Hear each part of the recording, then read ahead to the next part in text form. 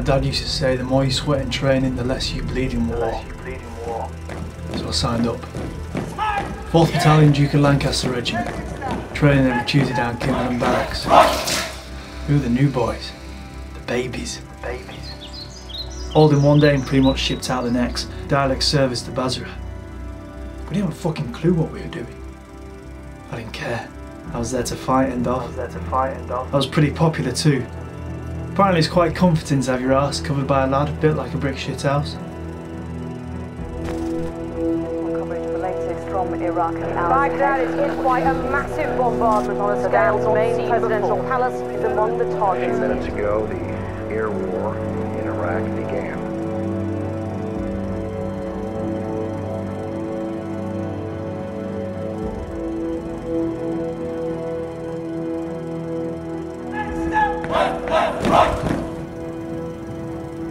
The older squaddies used to say. One thing will happen one day. You'll never be the same. Never be the same. Mine came.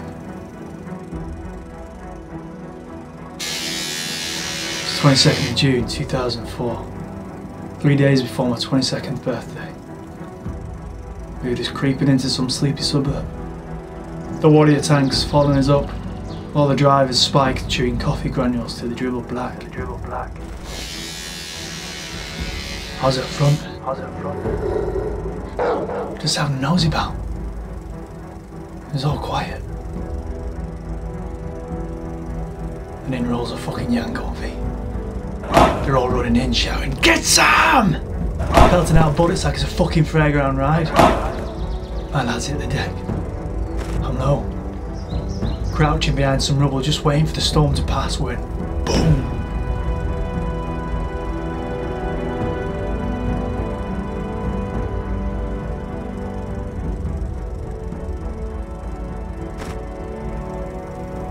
Smoke. Smoke. I can hear screams. Muffled like. And I'm down. I'm down. There's pain in my left leg.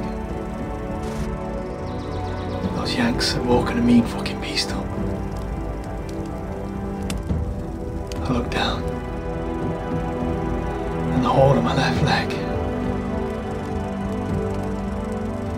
hip to toe. Skinless. Skinless. I stared at it. It was red and bloody. I could see all the muscles and the ligaments twitching. Twitching. I couldn't even feel the pain.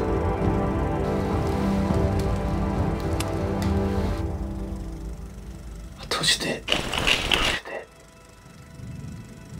It soft and warm. Warm. And huge. It's the most beautiful thing that I've seen.